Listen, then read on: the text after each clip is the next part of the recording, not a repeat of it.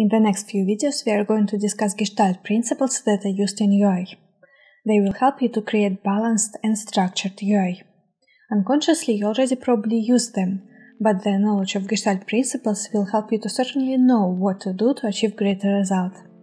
You've probably already heard of Gestalt, so let's first understand what it is.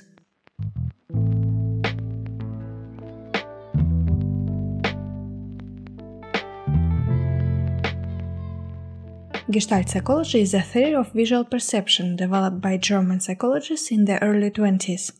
They thought that our world is in constant chaos, and our brain, for some marvelous reason, manages to create a sense of it.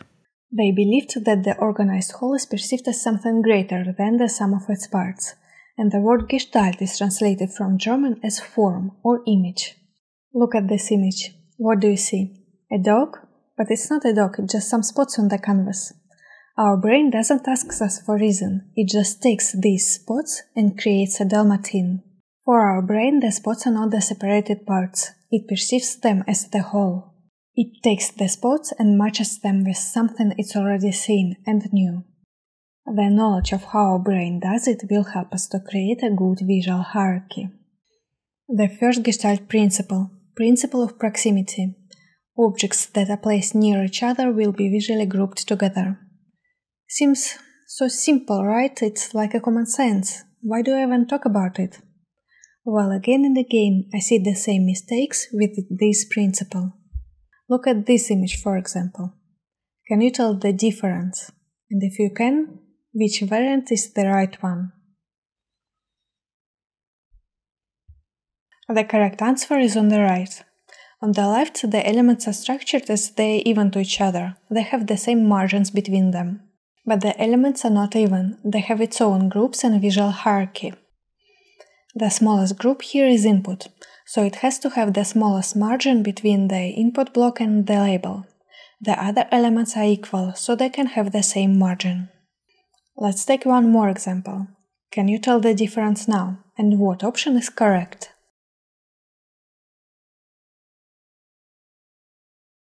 I'm sure you are doing great. The correct option is on the right. Let's see what groups we have here. The biggest groups here are of course the item cards, and they should have the biggest margin between them. But the item card is not the only group here. We also have text block and the block of the buttons. So in these two blocks we have the smallest margin.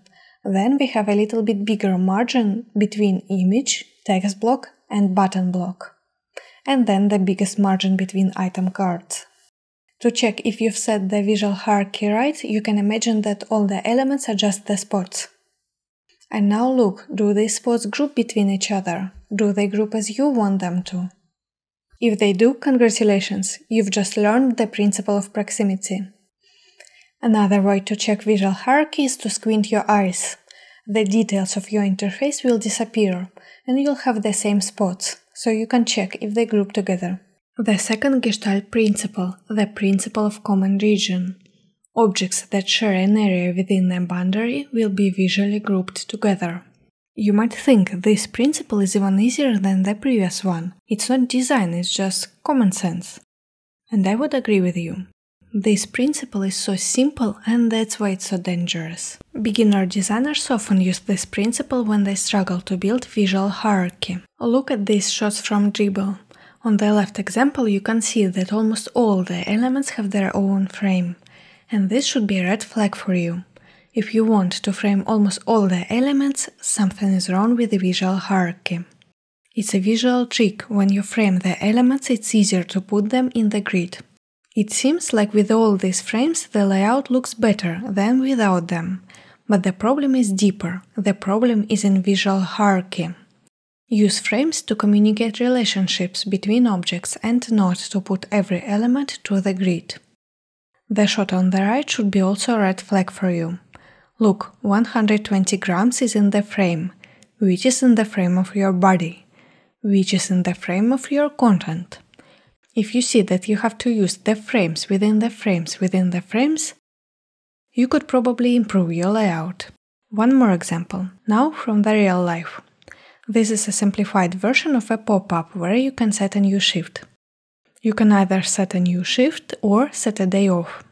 If you are setting a new shift, you can also attach the files or mark the shift with the star. Which option do you think better? The correct answer is on the right. File attachments and the star are related to the new shift, not to the whole window.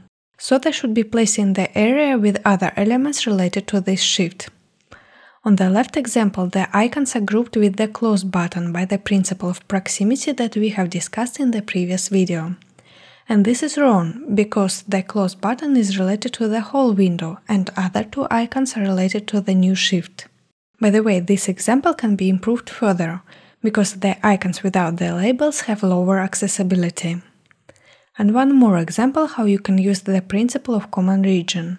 Here we separate with the frame the objects that we want to send out. The third Gestalt principle, the principle of similarity. Objects that are visually similar in size, shape or color will be visually grouped together, even if those objects are not near each other. Let's see an example. I'm sure you are doing great and have spotted the correct version right away. It is of course on the right. The buttons more and buy shouldn't be similar to each other. They have different functions. The buy button is certainly more important so it should have the brighter look compared to the More button. Just be careful, don't create a new look for every other button. It's enough to separate secondary and the main buttons. And one more example that you have certainly used is the accent. If you want to drag users' attention, you can put an accent to the element. And here again, it's important not to overdo it. If you put the accent on every other element, you lose users' focus. The fourth Gestalt principle, principle of continuity. Objects that are ordered in a line appear to be related. This principle is often used in navigation. There is a difference between the group of buttons and the navigation that share the same area. It's also often used in mobile interfaces, when you have the series of objects that have to be scrolled. To communicate to the user that elements can be scrolled, the last element is partly hidden.